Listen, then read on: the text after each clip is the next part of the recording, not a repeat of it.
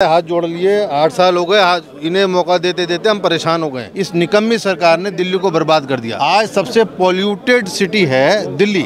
शर्म आनी चाहिए केजरीवाल साहब को। अस्थमा से लोग परेशान हैं। सांसों की बीमारियाँ हो रही हैं। फ्री के चक्कर में हमारी सांसों की जो नौबत आ गई है हमारे फेफड़े खराब हो गए हैं। नहीं चुनाव लड़ना ज़रूरी तो चुनाव में जो वादे किए वो भी तो पूरे करने आज यहाँ लोग मर रहे हैं। कैसे धीरे धीरे होगा? जब लोग मर जाएँगे तभी खत्म होगा। वर्ल्ड की सबसे ग्रीन सिटी थी। सबसे ग्रीन कैपिटल दिल्ली थी। आज उसे सबसे पॉल्यूटेड में लाके खड़ा कर दिया केजरीवाल। आज हम बीजेपी का अरविंद केजरीवाल का यहाँ पे धरना यहाँ पे इनका कार्यालय का घेराव कर रहे हैं। आज यहाँ दिल्ली में अस्पतालों में लोग दम घोट रहे हैं। छोटे छोटे बच्चे परेशान हो रहे हैं। क्या ये स्कूलों को छुट्टी का समय है? प्रदूषण लोगों को रुला रहा है साथ में प्याज भी रो रहा है। मैडम ये दोनों झूठे लोग हैं पाखंडी लोग हैं देश की जनता को धोखा दे रहे हैं और सबसे ज़्यादा दिल्ली की जनता को दे रहा है। जहाँ चुनाव ये जितने बैठे जहाँ इनकी सत्ता है वहाँ तो ये कुछ कर नहीं रहे हैं। जैसे नरेंद्र मोदी जी के दिखता है ना झूठ में ऐसे उनके वादे सारे खोखले हैं। सब झूठ बोलते हैं नरेंद्र मोदी देश के अंदर तो हमारे तानाशाह मोदी जी की सरकार है ही तो ये कुछ नहीं कर रहे हैं। दिल्ली वासियों को इन्होंने मरने के लिए छोड़ रखा है। किसी की नहीं सुन रही। पाँच राज्यों में चुनाव में पहुँचे हुए अपने अपने हथकंडे आजमा रहे हैं, ड्रामेबाजियाँ कर रहे हैं, लेकिन दिल्ली की जनता के लिए इनको बिल्कुल होश नहीं है। ये इन गूँगी बेरी सरकार को जगाने के लिए हमने कदम उठाया है कि ये सरकारें निगमी सरकारें हैं। आपको अपना ध्यान खुद रखना होगा। और आप अपने घर पे रहें सेफ़ रहें। यहाँ के बजाय वो जगह जगह प्रचार करें। दिल्ली संभल नहीं रही है। दिल्ली को बर्बाद कर दिया।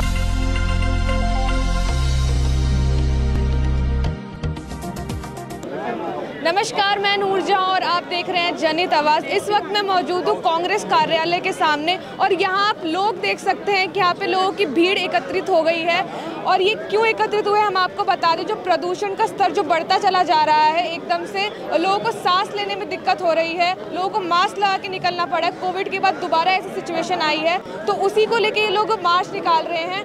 सर, क्यों इकट्ठा हुए हैं और मोदी सरकार और केजरीवाल के खिलाफ आप क्यों मार्च निकाल रहे हैं? देखो, कहीं ना कहीं तो हर किसी के अंदर इंसान है और हर किसी को आगे आना पड़ेगा। आप देख लीजिए जो यहाँ के सांसद है, मनोज तिवारी हमारे लोकसभा का, उत्तर पूर्वी लोकसभा का या दिल्ली का ये है।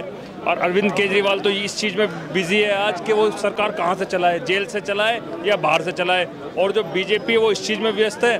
कि बाहर के चुनाव हम कैसे जीतते हैं? जहाँ चुनाव ये जीतते बैठे हैं, जहाँ इनकी सत्ता है वहाँ तो ये कुछ कर नहीं रहे हैं। वहाँ लोगों को लॉलीपॉप दे रहे हैं। मनोज तिवारी मार्क्स बांट रहे हैं दो दो रुपए के।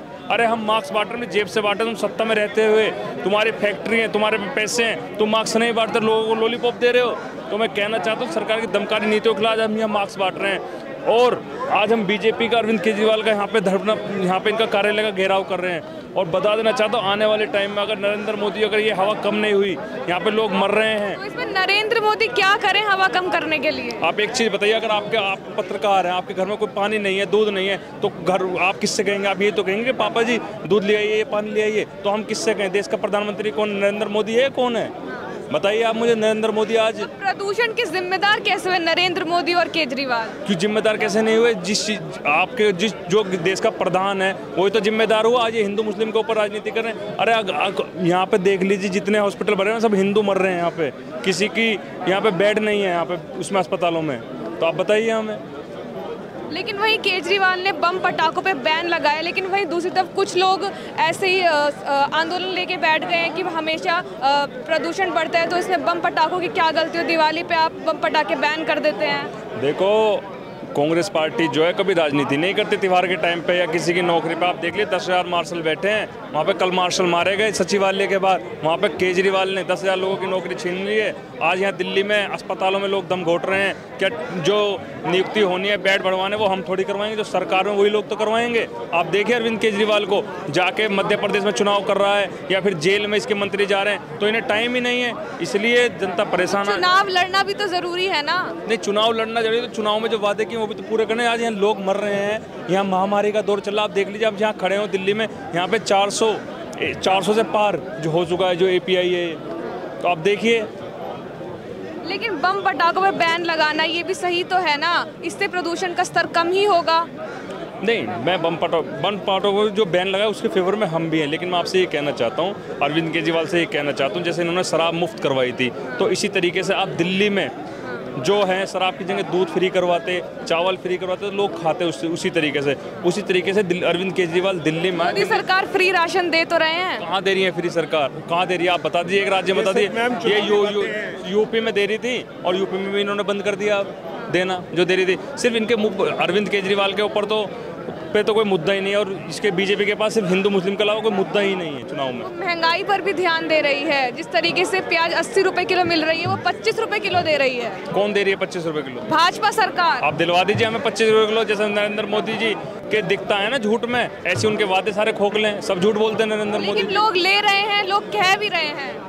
आपको मैडम मैं ये बोलना चाहता हूँ कि नरेंद्र मोदी जी सिर्फ़ पाँच राज्यों चुनाव में जुमला दे रहे हैं। उन्हें सिर्फ़ अपने वोट बटोरने हैं। उन्हें सिर्फ़ पाँच राज्य नज़र आ रहे हैं और कुछ नज़र नहीं आ रहा।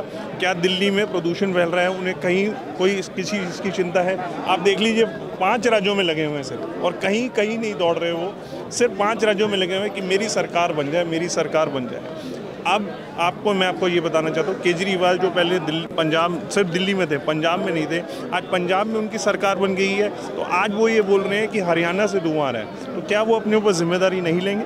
पंजाब को उनको जाके रोकना चाहिए जो पराली जला रहे हैं किसान उनको वहाँ पर रोकना चाहिए कि भाई दिल्ली में धुआँ आ रहा है परेशानी हो रही है। देखिए छोटे छोटे बच्चों की उनको रोकेंगे तो वो भी तो कुछ बोलेंगे ही ना कि हमें क्यों रोका जा रहा है? मैम अगर नहीं रोकेंगे तो फिर आपने सरकार क्यों बनाई वहाँ पे? फिर आप सरकार नहीं बनाते वहाँ पे? सरकार बनाने का किसान तो कह रहे हैं सिर्फ़ पराली जलाने से ही थोड़ा ना प्रदूषण होता है। और भी कई सारे ज़रिए हैं प्रदूषण होने सिर्फ़ पराली से ही आ रहा है। वहाँ पर इतनी जो जलाते हैं वो पराली उनका ये सीज़न ही ये है कि पराली जलाएँ। और हरियाणा साथ में है एक तरफ़ भाजपा की सरकार है हरियाणा में, पंजाब में, आम आदमी पार्टी की सरकार है। दोनों मिलकर दिल्ली के लोगों को परेशान करें। आप ये देखिए कि मुंबई तक धुआँ पहुँच गए क्या मुंबई के लोग परेशान नहीं हो रहे? वहाँ पर हाई कोर्ट ने ऑर्डर दे दिया कि अगर आज आज की तारीख थी, अगर आज आप नहीं करेंगे तो हम उसके बाद सख्ती करेंगे। और सुप्रीम कोर्ट ने भी दिल्ली में आम आदमी पार्टी को बोल दिया है कि अगर आप सख्ती नहीं करेंगे तो हमारी जब बुलडोजर चलेगा तो कोई सरकार नहीं बजेगी। तो सुप्रीम कोर्ट के आगे ना आम आदमी पार्टी कुछ है ना भाजपा सरकार कुछ है दोनों को जिम्मेदारियाँ लेनी पड़ेगी। केंद्र सरकार में भाजपा सरकार है और दिल्ली में आम आदमी सरकार है। दोनों को ज़िम्मेदारी लेनी ही पड़ेगी। पर जो केजरीवाल है वो ऑड इवन भी तो चलाया था इससे पहले पर कह रहे हैं उससे भी फ़र्क पड़ा था प्रदूषण मैम ऑड इवन में भी कुछ नहीं हुआ। अगर ऑड इवन में कुछ हो रहा होता तो मैम उसका रिज़ल्ट आता ना। ऑड इवन में सुप्रीम कोर्ट ने क्या क्या कर रहे हैं उसके लिए? उसके लिए आप देखिए केजरीवाल को सुना दिया गया है कि ऑड इवन के लिए क्या है आपके पास? कुछ नहीं है। ऑड इवन पिछले चार पाँच साल से आपको नज़र आ रहा है लेकिन कुछ नहीं हुआ। जब तक जो दिल्ली सरकार जो इतनी बड़ी बड़ी मशीनें लगाई हैं, जिस पर करोड़ों रुपए आपने खर्च करा है उसको अब कोई रिज़ल्ट नहीं निकला है। जब तक आप कुछ नहीं करेंगे, बैठे रहेंगे तो कुछ नहीं होगा। शराब घोटाले में दिल्ली सरकार है। अब पॉल्यूशन में भी दिल्ली सरकार आ गई है और केंद्र सरकार है। 2014 से पहले जब शीला दीक्षित जी की सरकार थी तो आप दिल्ली का, तब का फ़र्क देखिए और आज का फ़र्क देखिए। शीला दीक्षित ने ही ये मेट्रो चलाई थी। शीला दीक्षित ने ही ये सब कुछ दिया है। तो आपको लग रहा है ये मार्च निकालने से कुछ होने वाला है? कुछ नहीं होने वाला। हमने प्रदर्शन करना है और आज हम भाजपा कार्यालय तक और आम आदमी आम आदमी पार्टी के कार्यालय तक जाएँगे और वहाँ पर हमें शांतिपूर्ण मार्च है और हम अरविंदर सिंह लवली जी के नेतृत्व में एक शांतिपूर्ण मार्च निकाल रहे हैं, जिससे लोगों के लिए हम ये दिखाएँ कि कांग्रेस जो है लोगों के साथ है। छोटे छोटे बच्चे परेशान हो रहे हैं। क्या ये स्कूलों को छुट्टी का समय है? एक दिवाली है। दिवाली में लोग एक साल में पटाखे जलाते हैं। ठीक है? दो घंटे का टाइम दे दीजिए। आपने वो भी टोटली बैन कर दिया। देखिए कितने बड़े बड़े बिज़नेस बर्बाद हो रहे हैं लोगों के। महँगाई दिन पर दिन बढ़ती जा रही है। कभी प्याज महँगा हो रहा है कभी टमाटर महँगा हो रहा है आलू महँगा हो रहा है सब कुछ महँगा हो रहा है और अब प्रदूषण लोगों को रुला रहा है साथ में प्याज भी रुला रहा है। बहुत बहुत शुक्रिया। तो इन इन लोगों से हमने बात करी। ये लोग कह रहे हैं कि जो केजरीवाल और मोदी सरकार है, वो प्रदूषण पे कुछ ध्यान नहीं दे रही है। ऑडी वन उन्होंने चलाया था, उससे भी कुछ फ़ायदा नहीं होने वाला है। उससे कुछ फ़ायदा नहीं हुआ। सुप्रीम कोर्ट ने ऐसा बोल दिया है। और वहीं पर ये लोग मार्च निकाल रहे हैं। यहाँ पे ये मार्च निकलने वाला है। यहाँ पे आप लोग देख सकते हैं, लोगों के हाथ में पोस्टर हैं, पोस्टर लेके खड़े हैं। कांग्रेस पार्टी की तरफ़ से ये मार्च निकल रहा है। तो इन्हीं से हम लोग बातचीत करते हैं।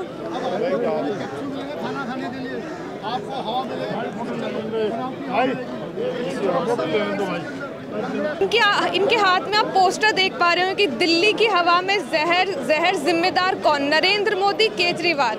कैसे नरेंद्र मोदी और केजरीवाल जिम्मेदार हैं? मैडम, ये दोनों झूठे लोग हैं, पाखंडी लोग हैं, देश की जनता को धोखा दे रहे हैं और सबसे ज़्यादा दिल्ली की जनता को दे रहा है। आज से नौ साल, दस साल पहले जब केजरीवाल सरकार में आए थे तो वो ये कहते थे कि पोल्यूशन जितना भी दिल्ली के अंदर आता है, पराली जलती है, पंजाब में वहाँ से आता है। आज पंजाब में इनकी सरकार है दिल्ली में इनकी सरकार है और निगम के अंदर भी इनकी सरकार है और देश के अंदर तो हमारे तानेशाह मोदी जी की सरकार है ही।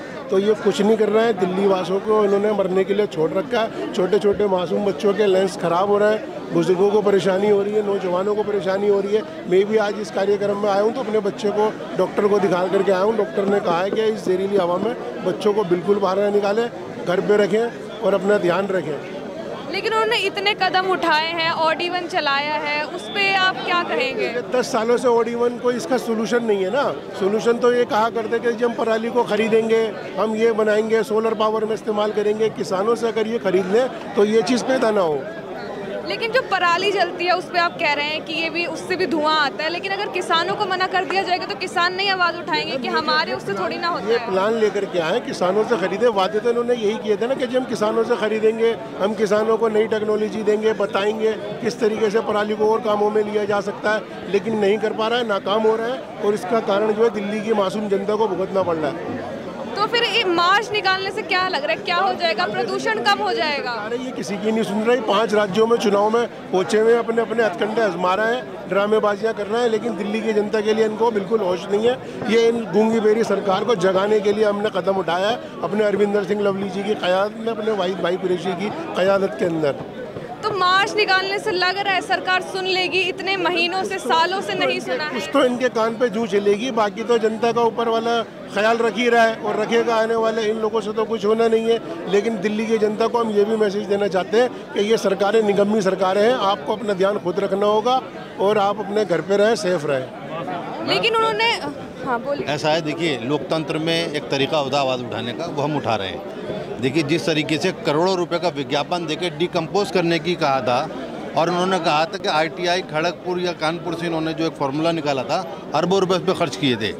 उससे पहले इन्होंने कहा था कि पंजाब आप मुझे एक बार दे देखें, पंजाब से पराली आती है और अमरिंदर सिंह साहब के ऊपर पूरा का पूरा ठीकरा फोड़ते थे आज इनको पंजाब भी दे दिया गया, लेकिन उसके बाद भी लोग परेशान हैं। दिल्ली, देखिए, जब भी दिवाली होती थी, लोगों में उत्साह होता था। बच्चों के अंदर एक उमंग होती थी आज सब उमंग धरी धरी रह गई। बच्चे पटाखे नहीं फोड़ सकते, बच्चे बम नहीं फोड़ सकते। उसकी वजह सिर्फ़ यही सरकार है, इस निकम्मी सरकार ने दिल्ली को बर्बाद कर दिया।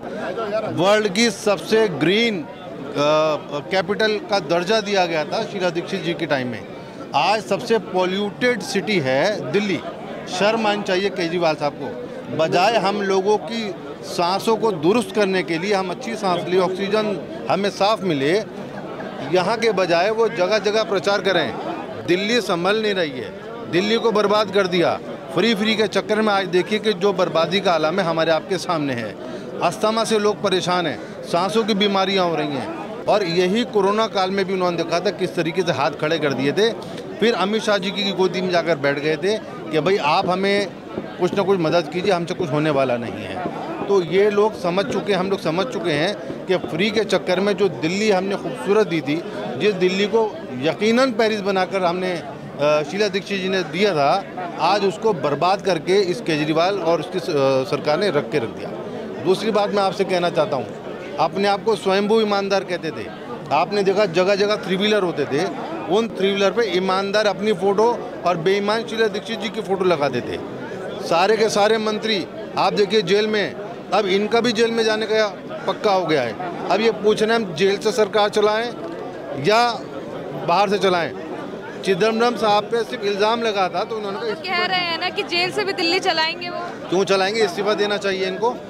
जब चिदम्बरम साहब पर इल्ज़ाम लगा था और साबित नहीं हुआ बेदाग टूटे हैं वो उनके ऊपर इन्होंने इल्ज़ाम लगाया और उन्होंने कहा इस्तीफा देना चाहिए। तो अब इनके ऊपर क्या नैतिक ज़िम्मेदारी नहीं है कि ये इस्तीफा दें? उनको दोबारा मौका दे के देखिए ना क्या पता सुधर जाए दिल्ली में प्रदूषण का स्तर कम हो जाए। ऐसा है हाथ जोड़ लिए आठ साल हो गए इन्हें मौका देते देते हम परेशान हो गए। फ्री के चक्कर में हमारी सांसों की जो नौबत आ गई है हमारे फेफड़े ख़राब हो गए हैं हमारा ब्लड प्रेशर ख़राब हो गया इस चक्कर में क्योंकि ऑक्सीजन जो सारा सर्कुलेट होती है ब्लड के साथ सारी पॉल्यूटेड है पॉल्यूशन के चक्कर में हम आज त्रस्त हैं। छोटे छोटे बच्चे जो स्कूल जाते थे उनके स्कूल बंद हो गए ऑनलाइन क्लासेस हैं। ऑनलाइन क्लासेस से आपको मालूम है कितना बच्चों पर असर पड़ा उनकी आँखों पर असर पड़ा उनके दिमाग पर असर पड़ा। आज फिर वही ला रहे हैं। ऑड इवन जिसको उन्होंने कहा ऑड इवन का कोई रिज़ल्ट नहीं निकला उसके बावजूद इन्होंने ऑड इवन को दोबारा लाने की कोशिश करी। हम सख्त तो धीरे धीरे ही तो प्रदूषण कम होगा एकदम से कैसे कम कर देंगे वो? कैसे धीरे धीरे होगा? जब लोग मर जाएँगे तभी ख़त्म होगा। इन्हें इन्हें स्टेप्स उठाने चाहिए थे। जितनी ग्रीनरी पूरी वर्ल्ड की सबसे ग्रीन सिटी थी, सबसे ग्रीन कैपिटल दिल्ली थी। आज उसे सबसे पॉल्यूटेड में लाके खड़ा कर दिया केजरीवाल ने। शुक्रिया। तो इन लोगों से हमने बातचीत करी है कह रहे हैं जो दिल्ली सबसे ग्रीन सिटी थी, उसको उन्होंने प्रदूषित बना दिया प्रदूषण का स्तर बढ़ गया है और ये लोग कोई एक्शन नहीं ले रहे हैं। तो उसी के जो प्रदूषण स्तर बढ़ रहा है और उसी के खिलाफ जो मोदी सरकार है और जो केजरीवाल सरकार है, उसी के खिलाफ ये लोग आज मार्च निकाल रहे हैं पूरा और कह रहे हैं कि दोबारा जो केजरीवाल और उनकी तरफ़ से जो हो रहा है, उनको कुछ कदम उठाने चाहिए ताकि प्रदूषण स्तर कम हो। लोगों को मास्क लगाने की नौबत आ गई है। कोविड के टाइम पर ऐसी सिचुएशन थी, अब दोबारा ये ऐसी सिचुएशन आ गई है कि लोगों को मास्क लगाना पड़ रहा है। छोटे छोटे बच्चे जो हैं, उन लोगों के स्कूल बंद हो गए ऑनलाइन क्लासेस जारी हो गई है, अस्थमा की दिक्कतें बढ़ रही हैं। तो आप इनकी बात से कितना सहमत है हमें ज़रूर बताइएगा और देखते रहें जनता आवाज़।